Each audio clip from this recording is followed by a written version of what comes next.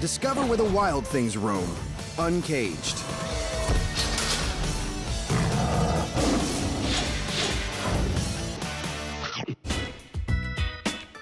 The nutrient-rich waters of this South Alaskan region are home to a fascinating variety of marine life, both small and large.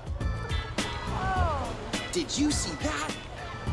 This is the world-renowned humpback whale.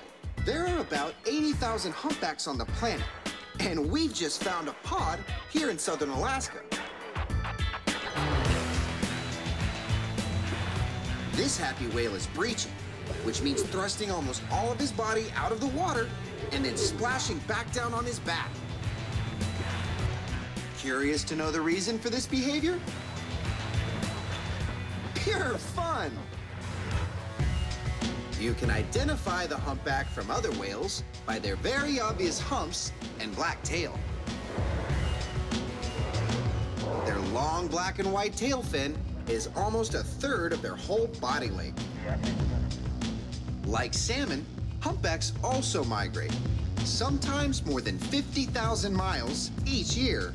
Not bad mileage. Humpbacks come to the polar waters during the summer to feed and stock up on their fat reserves. They will then migrate to more tropical waters during the winter to breed and give birth. As you can see, humpbacks are usually covered with little tubercles that hold their hair. Humpbacks feed on krill and small fish. No, they don't eat birds, but the birds sure do like to feed on the whale's leftovers. Humpbacks have a very unique feeding method, which you're witnessing right now. It's called the bubble net feeding technique.